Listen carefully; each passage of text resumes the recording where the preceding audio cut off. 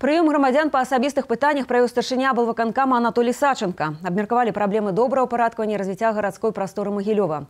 Як адзначыў кіраўнік вобласці комплекснаму добраўпарадкаванню двароў, рамонту дарог і дамоў, арганізацыі дзіцячых і спартыўных пляцовак, развіццю зон адпачынку асаблівая ўвага.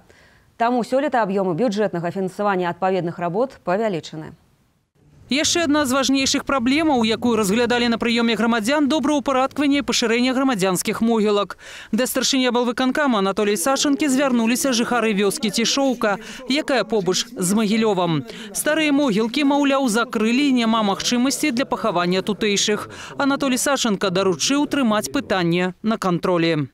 Самые большие кладбища, конечно, которые прилегают э, к городам, э, им уделяется наибольшее внимание. И они заполняются, конечно, совершенно быстрее, чем э, в сельских населенных пунктах. Поэтому данный вопрос на постоянном контроле. На сегодняшний день, с учетом проведенной инвентаризации кладбищ, мы проводим анализ кладбищ, которым требуется расширение, то есть выделение дополнительных участков земельных.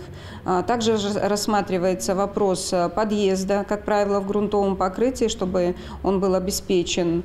А, ну и также мы рассматриваем все обращения граждан а, с учетом пожеланий и требований для того, чтобы данные места погребения соответствовали требованиям современного времени.